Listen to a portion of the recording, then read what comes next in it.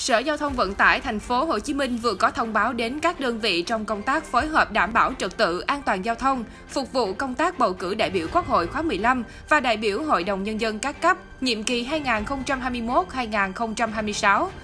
Theo đó, thành phố Hồ Chí Minh sẽ tạm ngưng thi công các công trình có tổ chức đào đường vỉa hè trong phạm vi kết cấu hạ tầng giao thông đường bộ trên địa bàn thành phố trong hai ngày 22 tháng 5 và 23 tháng 5. Sở Giao thông Vận tải thành phố Hồ Chí Minh yêu cầu chủ đầu tư tất cả các công trình có trách nhiệm đôn đốc các đơn vị đẩy nhanh tiến độ thi công đào đường, khẩn trương tái lập lại toàn bộ các đoạn đường đã thi công xong trước ngày 22 tháng 5.